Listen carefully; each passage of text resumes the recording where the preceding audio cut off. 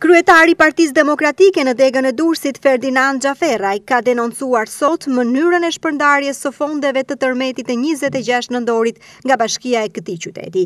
Xhaferraj tregoi rastin e një pallati në lagjen me numër një të qytetit, i cili, sipas tij, nuk ka pësuar dëmtime fare, por banorët e tij kanë përfituar fonde deri në pesë milion lekë. Xhaferaj tha se në këtë pallat banojnë zyrtarë të bashkisë dhe qëllimisht pallatin e kanë nxjerrë me dëmtime DS tre. Këtu jemi në lagje një.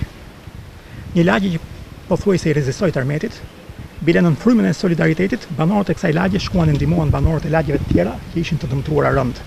Shikojeni këtë pallat këtu. Pallati nuk ka asnjë dëmtim. Vangjush Dako do të thonte që ky pallat është akullore, po për klientët e qeverisë dhe për zyrtarët e qeverisë, jo për gjithë banorët, është klasifikuar DS tresh dhe paturpësisht, është një turp shumë i madh, kanë marrë nga pesë milionë lekë të vjetra. Shikoni këto këtu në këto foto këtu. Jemi në lagjen tetëmbëdhjetë, jemi në plazh të Durrësit, këto pallate janë DS tresh.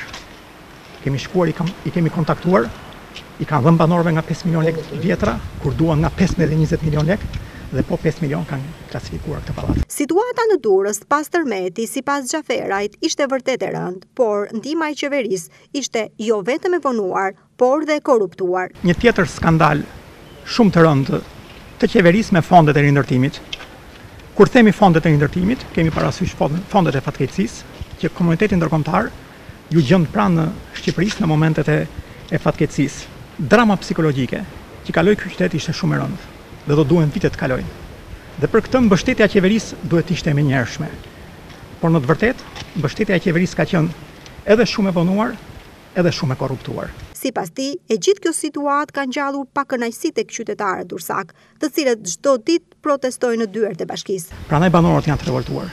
Prandaj kur shkon protestojnë para bashkisë, sepse ata e ndjejnë, e shohin, e prekin, e shprehin që fondet nuk janë ndarë në bazë të nevojave, fondet janë ndarë në bazë të korrupsionit.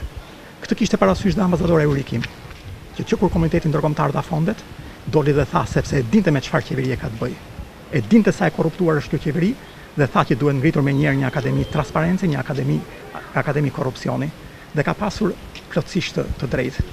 Duket qartë që me Ramën, me Dakon dhe me Çelën ky qytet është jo vetëm i braktisur, por edhe i vjedhur. Për të gjitha këto raste, sipas Xhaferajt, pranë Partisë Demokratike janë duke u pregatitur dosjet me denoncimet përkatëse.